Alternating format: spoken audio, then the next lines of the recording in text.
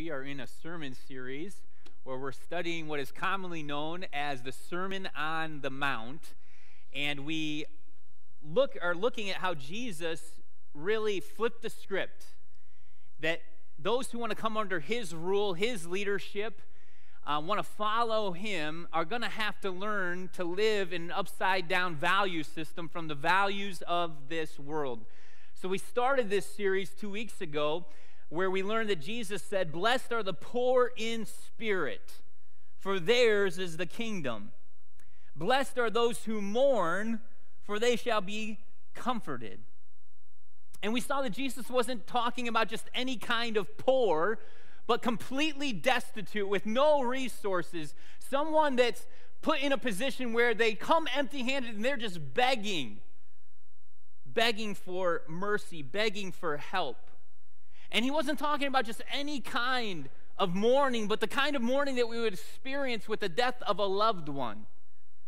That, that God wants us to come to a place where we're the, we are at the end of our, sort, our resources. We're at the end of ourselves, where we hit rock bottom and find that He's the rock at the bottom that we can build our lives upon, that we have nothing in and of ourselves to offer to God that in and of ourselves we cannot work our way to heaven. We cannot work our way to god that christianity is completely different from every other religion in the world that says you have to earn your way to heaven. Rather we come understanding we have nothing to offer to god that is pleasing in his sight in and of ourselves that it's only by his life coming and entering into our spirit that we can offer anything that's acceptable to god and so we come desperate. And we come mourning saying, God, I, I'm tired of my sin and who I am in and of myself. Would you save me? You know, Jesus, his name by definition means Savior. And, and he's got to get us lost before he can get us saved. And so, as John Ritenbaugh says, he reminds us that this, these dispositions, these attitudes of the heart of being poor and mourning, they come as a result of having a revelation of seeing clearly how rich God is in terms of His love, in terms of His generosity, in terms of His kindness and mercy and wisdom, and how poor we are in comparison to Him. You see, where people think they're good and they're okay and are on their way to heaven, and surely if I were to die today, God would see that I'm a good person, everything's okay, is that we are just comparing our goodness to other people's goodness. And when I compare my goodness to other people's goodness, I can always find one person that's not living up to my abilities and feel okay about myself. But when I go to Jesus' standard of goodness, that He would say, Love your enemy and bless them and do good to them and pray for them, I know that if I were to try to do that, even, it would be a farce in my heart. In my heart of hearts, I don't want what's good for them. I want them to suffer the way they've made me suffer. I don't want to bless them, I don't want to pray for them. That's not natural to any of us. But that's natural to God. That's His character. That's His impulse, is goodness and love and blessing, even to those who are not for Him, but those who are against them. And He says, I want you to be like me. And the only way you can be like me is you've got to come to the end of yourself and realize you can't do it. And you got to fall desperately on Jesus Christ and allow His life to come in you. It's only His Spirit in you that could produce that kind of heart for your enemies. That kind of goodness in you. And so Jesus tells us, Blessed are those who are poor in spirit and those who would mourn over their condition because they're going to find Jesus' sufficiency. They're going to put their confidence in Him and stop putting their confidence in themselves. And this word that he used for, for bless, it's this word in the Greek, makarios, which, which means fortunate. Man, fortunate are these, to be envied are these who come to the end of themselves and stop putting them, their confidence in themselves, but put their confidence in Christ. They're the ones to be envied. They're the fortunate ones. They're the ones to be commended and patted on the back and say, hey, congratulations. You've realized you've got nothing to offer God. I'm, I envy you. Because these are the partakers of the divine nature. These are the ones that are participating in the life of God. There's no room for pride here. Just as the physical heart has a receiving end, and as a result of receiving uh, blood, it's able to then give it away to other parts of the body. So the spiritual center of man, called the heart, in the Bible, it needs a receiving end in order to have a giving ability. And apart from Jesus, we're all clogged. We all have clogged, clogged arteries, unable to produce the will of God because we can't receive from heaven apart from Jesus Christ and his intervention. But when we open ourselves up to Jesus and His forgiveness and His power and His saving grace, now we become unclogged and we get a hearing from heaven and we're able to receive and then give what we freely received. But it's only by His grace, His life, His intervention. That's why Jesus said, You got to be born again from above. This is not a natural thing, this is a supernatural intervention that any person can be saved and given eternal life. That leads us to the next upside down state of being that Jesus says will define those who are allowing Him to have His way in their life, His rule, His leadership in their life. In Matthew 5 5, we read this Blessed are the meek, fortunate to be envied, to be commended are those who are meek, for they will inherit the earth.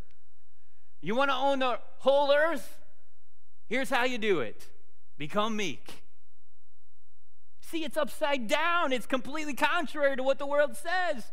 Meek people are weak people. I don't want to be meek. Meek people are doormats, they're spineless, they're ineffective. That's how the world thinks. You got to throw your weight around. You got to let people know that if they mess with you, they're messing with the wrong person. They'll never make that mistake again. What do you mean, Jesus? Blessed are the meek. They're going to inherit the earth. They're going to inherit abuse. That's what they're going to inherit. Jesus doesn't know what he's talking about. You know the biblical definition of meekness? It's not weakness, as the world would think of it, it's power brought under control. Power brought under control. It's the picture of a wild stallion that has not been broken, that's brought under the reins of a master. It's this idea of Jesus getting, having an ability, having an invitation, having a person come under him and say, Lord, I want you to lead me. I want you to drive me. I want you to restrain me. I want you to take me under your control so that I'm no longer just operating in the impulses of my own flesh that the power that I have is used for your glory and your honor as a reflection of your name. So, so meekness is not weakness, it's, it's that you become powerful under the control of the Master, Jesus Christ.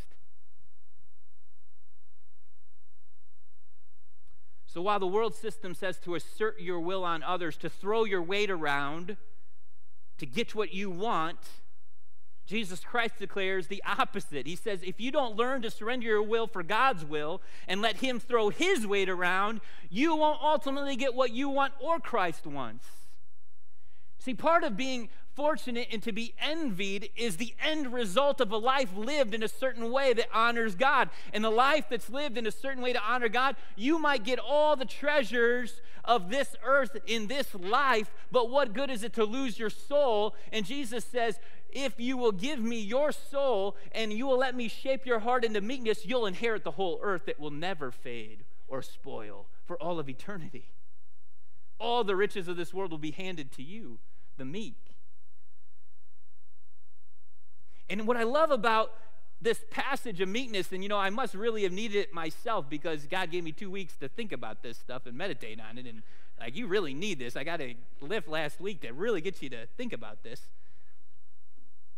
You don't have to self promote. You don't have to prop yourself up. Enforce your way, enforce your will, or, or out of fear that you're not going to be noticed, out of fear that you're going to be overlooked. You don't have to defend yourself anymore and fight against those who come against you and lose sleep and lose peace in your heart because you have to fight for yourself. Rather, what meekness is, the, the way we become meek, meek is we learn to rest in His sufficiency. That we have a Father in heaven who will fight our battles for us, who will vindicate us, who will help us, who we can entrust with different situations that are beyond our control. That if we will cast it off of us and onto Him, He can handle it way better than we can. And we can have peace when we cast our cares onto Him off of us and get that weight off of us onto Him, His shoulders are much bigger and much more able to handle it than we are. See, if you have God's approval, a title from man anymore to make you feel significant, you've got the ultimate title, your royalty in God's house. So you can stop chasing titles and you can stop chasing self promotion because He'll promote you time when you're ready. And that's a great restful place to be.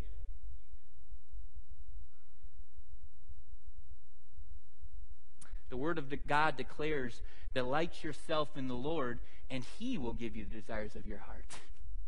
You know what your job description is? Delight yourself in God. Delight yourself in that relationship. You have a Father in heaven who loves you, who wants to spend time with you, who wants you to rejoice in Him. Get your focus off of the people around you, off of the problems around you, onto Jesus, and let Him deal with it. He says, Delight yourself in me. I'll take care of everything else. Seek my kingdom and its standards. Seek first God's rule over your life and His standards of living for your life. And He says, I'll provide everything else you need. Wait on the Lord and do good, for the meek inherit the earth. Jesus is quoting Psalm 37, 10 and 11, that we're going to quote at the end of this passage. Wait on Him. Let Him create the opportunities. Let Him handle the offenses. Let Him handle the things that are stressing you out and weighing you down and causing you to lose all peace in your life. And that includes vengeance. Vengeance is mine, saith the Lord. See, some of you say, man, if I don't take vengeance into my own hands and I don't hurt that person the way they just hurt me, well, they're just getting away with murder. It's not right. What you're saying is, oh, God can't handle this doing the right thing here. God can't convict their heart. God can't correct their heart. I've got to do God's job for him. He's not adequate to handle it. And it always causes more pain and more turmoil and more trouble. So here's my question today Do you want to have to throw your weight around, or would you rather have God throwing his weight around for you? See, every time you choose to take it up into your own understanding according to your knowledge, according to your strength, you, you eliminate God from the equation. He says, Oh, okay, you don't want me to be a part of this? Then you go ahead and see how it goes for you handling it. You're just going to make it even worse. Not even one amen after that. Come on now. You know it's true. I'm only 35 and I've experienced this my whole life. But every time you put it into God's hands, every time you cast it off of you onto Him, watch Him throw His weight around. Woo! I can have peace. He's handling. I don't got to worry about it, man. I have a lot more peace than when I'm trying to handle it. It's amazing what God can do when we stop playing his job, taking his role. You know what? Psychologists will tell you that people who are over controlled because somebody's throwing their weight around and trying to force their agenda instead of resting in God and to trusting Him and His will to be done, that people who feel over controlled, that feel they can't have their own thoughts, their own opinions, their own boundaries because somebody's always trying to violate it. They are set up for dysfunctional behavior and addiction as a way of trying to get control back. So, listen, you married people and you parents and employees and employers. Uh, yeah. In his book, Soaring Lessons on Faith, Hope, and Love, learned from the psychologist chair, we're going to learn the importance of allowing God to make us meet. William Kuntz shares one of my clients was obsessed with changing her husband. Can I get another amen? All right. the harder she worked at getting him to change, the more he dug his heels in and refused to change. Can I get an amen? And can I just say, I'm going to read his mind. He also held resentment and did not cherish and love her the way she wanted. The paradox is that accepting someone as he actually is gives that person more freedom to change. We all need unconditional love and acceptance, a genuine love with no strings attached. And as we feel more and more there are strings attached and we have to meet an expectation and we have to be manipulating control, the more we are going to fight and rebel against it. In other words, the more we try to control a situation, the less control we gain. It actually gets even worse. The paradox is the more we take our hands off of it and give it to God, the better the outcome. We actually get what we want, the less we try to manipulate. Let's go the other way around. I don't want to just pick on wives. Another client, he says, was determined to coerce his wife to stay with him. In attempting to hold on to her against her will, he only succeeded in pushing her further away. See, the world says throw your weight around. You got to control the situation. You got to take charge. You got to defend yourself. You got to fight for yourself because nobody else will fight for you. That's not what Jesus says. Jesus says, You have a Father in heaven who loves you, who cares about the situations of your life. He will intercede. He will fight for you. You don't have to lose heart. You don't have to take control. You can be meek and calm Ah, thank you, God. Lord, I bring this to you. I can't handle it. I'm poor in spirit. I got nothing to offer here. God, in of myself, I can't do this. But God, you can. I put my confidence, my trust, my faith in you. I cast it onto you. And God, I will just do what you tell me to do, and I will leave everything else in your hands. That's peace. That's rest. That's joy in seeing God move mountains that you can't move. He goes on to say, giving up control can be especially difficult when we have been victimized by others. When we are wronged, it isn't our place to seek revenge. Retaliating when wronged won't decrease our vulnerability, it just multiplies the pain. Whatever or whomever you may be trying to control, you gotta let it go. You'll be amazed at the peace and serenity that this simple resolution will bring Take a deep breath. Everybody, ah, take a deep breath. Be still and know that He is God. Decide today to let go and let God be in control. You know, I had a thought down these family relationships of even ad- adult children whose parents, I, have talked to many, many adult children through 10 years of ministry who feel guilted and manipulated by their parents to get them to cooperate in a certain way. And they do oftentimes out of guilt, but there's no joy in it. And it just reminded me how, how, again, Jesus is trying to help us. He says, I came life to give you life and life to the full. He's not saying that you never speak what, what's on your heart and your mind, he says you speak it under control, under his control. You speak the truth in love, and then you release it to God. In other words, instead of out of your pain giving sarcastic quips and, and hurting others back, learn to just say, you know what? You hurt me. It hurts me that you never come and visit me. I feel neglected. It hurts me. It hurts me wife, or it hurts me, husband, or it hurts me, child, when you talk to me like that. But what we do oftentimes, because we're not looking to Christ to come under his control in those situations, is we hurt back the way we've been hurt. We insult back the way we feel insulted.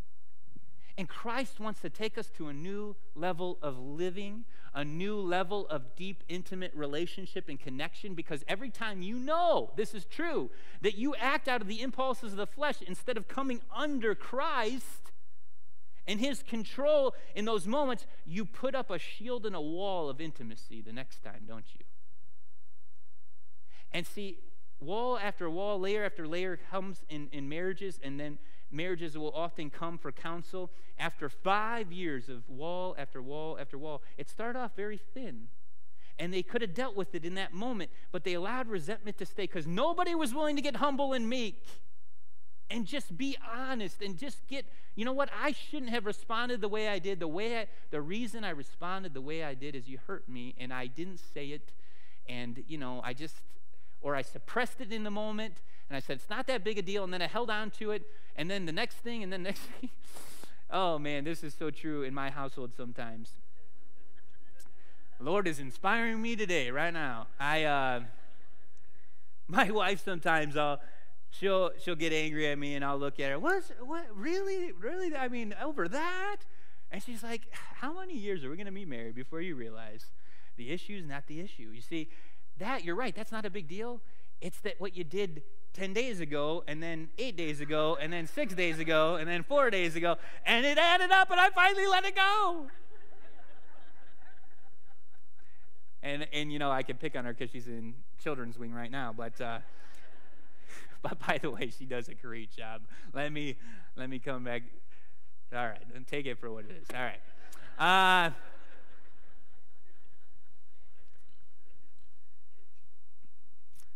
meekness. It's not weakness. It's, it takes strength sometimes to be honest and share your feelings. It's a lot easier to just operate out of the flesh and just give a dagger back the way we feel hurt. It, it takes courage to, to be honest and vulnerable with your feelings. That takes strength. It's not easy, but it brings great healing and health and wholeness to our lives that God wants for all of us. I do want to use them one more illustration from my family um, to encourage you that uh, it's a process. It's a, it's a process. Courtney uh, told me she was doing a Women of the Word lesson. She was teaching for Women of the Word, and uh, and so and I knew it was about offense and and letting go of offense. And as I'm thinking about meekness, obviously meekness is is letting go of offense. So I said, "Hey, could I see your notes for that? I'd like to read that." And uh, so this is the story she told. I thought this was hilarious as I was reading it. It was a story about me. And, and so I was like, oh man, I, uh, I was like, wow, I got to share this with everybody and make them feel better. So she says, as I was working on this lesson about not holding on to offense, I got a call from my husband that put me to the test on this very topic. That's how God works. It's hard to be a preacher. You always get tested on what you're preaching. Uh, he tells me a bit of bad news. I don't even remember, by the way. This is what's terrible about us husbands. We, we don't even know what it is. Uh, nothing big, she said, just one something that needed to be talked out and worked out, but then within two seconds of giving me this information, says, Sorry, I have to go. I'm walking into a meeting. Uh, so I just drop bad news and go, Oh, I can't talk about it. I got to go she says, My first thought was, Of course. Why would you have any time to have a meeting with your wife? I mean, I did not even get to use 10 of my daily words on the subject, let alone my full 30,000. But then, as I hung up the phone, fully intending to allow my mind to fume for a bit, I look over and see my computer open, my book open and highlighted, and I feel as strongly as I ever have God saying to me, Take your thoughts captive now and she capitalized it with three exclamation points. I really put her to the test. We are, a, oh man, thank you, Jesus, for a patient, meek wife. So, you know what I did? I honored the spirit of this lesson and started to think objectively about what he had just told me and my reaction to his quick getaway. And you know what? As I sat there thinking on these things, not fuming, I realized there might be some truth to what he just said. I actually underlined that boldened it and italicized it. I'm being very meek in this moment. I felt humbled, she says, by that. If I had chosen to be offended not only by the content of the call, but by his actions, then I guarantee you that later that night, our home would not be a place of rest. Because a small offense here can have a huge ripple effect over there. She says, if this is where, whew, thank you, Jesus, for an awesome, godly wife. If you ever think that taking offense only affects you, then you are very wrong. Choosing to be offended invites stress, awkwardness, unease, and divisiveness into any group it is welcomed into. And I say, Preach, sister, to that. Listen, when you choose not to be meek, when you choose to be offended, when you choose not to hand it off to God, when you choose to take it in on yourself, you carry that now with you into the other relationships of your life. Don't think it's not going to affect you over here. And ironically, you're letting somebody else manipulate you now and have control over you in ways that enslaves you and makes you anti Christ like in your life. But if you would lay it down to God and trust Him, He will vindicate. He will be your defender. He will fight for you. Trust me, He knows how to convict you when you get out of line. And by His grace, we can have peace in our marriage and pr- peace with our kids. And man, I can just testify more because of her than me. By God's grace, over 10 years of marriage, our, our marriage truly gets better every year. It really does. And, and it's not boasting in us, it's boasting in our God who helps shape us into the people that can have peace, that can have love. And as you can see, it's not perfect, it's getting worked out. But the more we give it to Him, the more He affects, He does a better job getting Courtney convicted than I do. Can I, can I tell you? And vice versa. Proverbs 19:11 a person a person's wisdom yields patience. It is to one's glory to overlook an offense. This is why Jesus says the meek are fortunate. The meek are to be commended. They are to be envied. They've learned to relinquish control to God knowing the outcome is not only just in the future that you're going to inherit the new heavens and the new earth that's going to last forever but it also comes with immediate benefits as well having peace in your life, having a clear conscience in your life, the awareness of God's presence, having prayer become powerful and effective in your life. And can I just tell you, when you're a person that's under the control of Christ, generally speaking, even with the most pagan of people in your life, they respect you. They respect you a lot more than you just lashing out in anger every time you don't get your way. When they see a person under the discipline of the Holy Spirit, under His control, it breeds respect into your life. And it's just a better way to live your life. And God wants this for all of us, no matter what our natural inclination may be. Listen, if you're naturally very volatile and, and naturally very temperamental and you're naturally very gruff, this message is still for you. God wants to show off even more his power and grace in your life, if that's your natural disposition, he can make you a new creation, a brand new person today. All you got to do is humble yourself and ask him to help you. Invite him in, confess your sin to him, and allow him to cleanse you of control.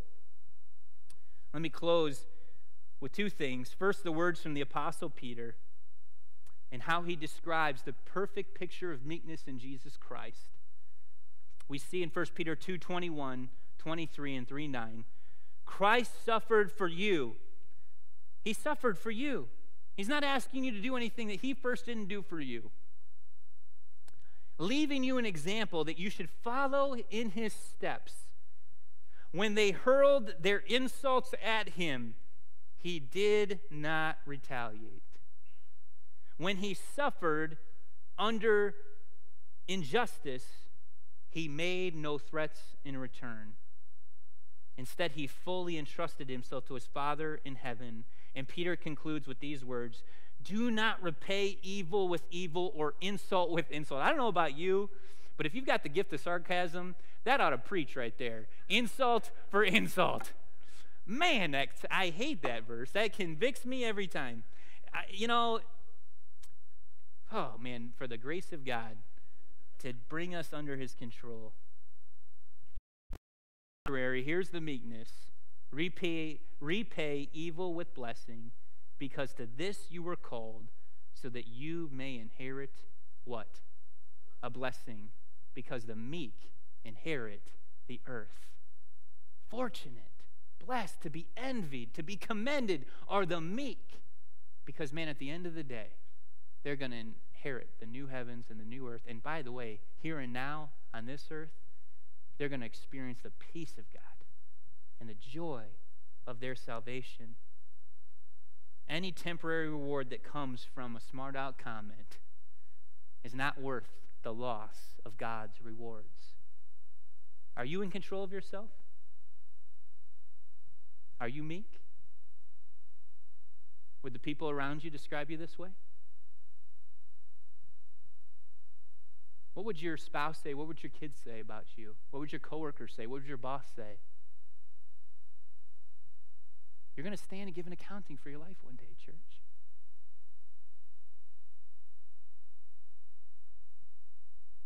We need to let the weight of conviction fall on us sometimes. We need to get poor in spirit sometimes.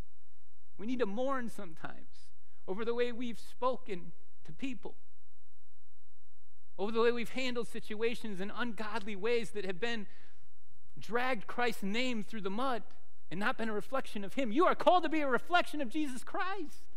You've got the highest calling and honor in all of life that people look to you to see what is Jesus like. We need to honor him today. We got to love him with all of our hearts in a way that we would say, Oh God, bring my tongue under your control. God, I want you to rule over my life. I, I am tired. I'm mourning. I'm coming to the end of myself. God, I, I release and surrender the control of my life. I release and surrender the control of my finance. I release and surrender the control of any title that I'm after. I'm not going to stop throwing my weight around. I'm going to start throwing your weight around in prayer. And I'm going to cast these cares off of me onto you. And I'm going to trust you to fight my battles. And I'm going to trust you to give me the ultimate reward I know in whom I've entrusted, Paul said, and he's going to be faithful on that day. So, in these closing moments, would you stand with me? And the band is going to come, but before they come, I want us to read together from Psalm 37, 7 through 11, and 27 and 28. Would you read this with me? Do not fret when people succeed in carrying out their wicked schemes. Refrain from anger and turn from wrath. Do not fret, it leads only to evil. For those who are evil will be destroyed, but those who hope in the Lord will inherit the land. A little while, and the wicked will be no more. Though you look for them, they will not be found.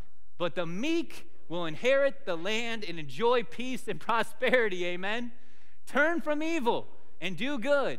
Then you will dwell in the land forever, for the Lord loves the just and will not forsake his faithful ones. Are you going to be faithful, church?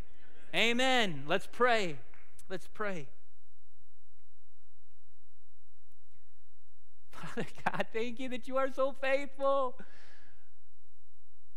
faithful even to convict us where we need it today, faithful to pick a fight with us right now and say, I love you too much to let you continue to act in that way. I love you too much to continue to have you talk in that way. You are your own worst enemy and you're self destructing, and I'm going to take over the reins here. And I want you to wrestle with me. I want you to wrestle with me over this area of meekness. I want, to, I want you to wrestle with me to come to the end of yourself. You know, Israel, by definition, means one who wrestles with God. I'm going to wrestle, God, till you bless me. I'm not going to let you go till you bless me. I'm going to wrestle with you, God, because I am hungry and thirsty for righteousness in my life. God, I want to be meek as you are meek. I want to be holy as you are holy. I want to be an imitator of your goodness. I want to reflect your love. The costs are high, the stakes are too high, God, for me to continue as I am. So, God, I come empty handed and I believe in your sufficiency to meet me where I can't do it. Any heart in here right now that would just say, God, I surrender. I surrender. He will bless you. He will bless you by turning you from your wicked ways. He will bless you by giving you the fullness of the Holy Spirit. Stop fighting Him. Relinquish control. And He will make your path. Delight yourself in Him, and He'll give you the desires of your heart, and He'll realign your heart with His heart. He'll recalibrate your marriage. He'll recalibrate that relationship with your kids. He'll bring restitution and reconciliation. He'll do more than you could ask or imagine. You'll be laughing at the end of the day at the goodness of God, at the glory of God to move mountains that you can't move, to remove strongholds that you can't move. Our God is mighty to save. Put your trust in Him. Relinquish control. Whatever He's putting His finger on, confess your sin and let times of refreshing come. And join this church family that's here to support you, to help you carry the burdens, to pray for you, to hold you accountable, to fight the good fight next to you and lift you up. Don't go another day alone. Thank you, Jesus, for your faithfulness. Thank you for speaking to us here. God, we want to respond right now with worship and gratitude for your love for us. So, God, Holy Spirit, lead us in worship right now, I pray. In Jesus' name, amen.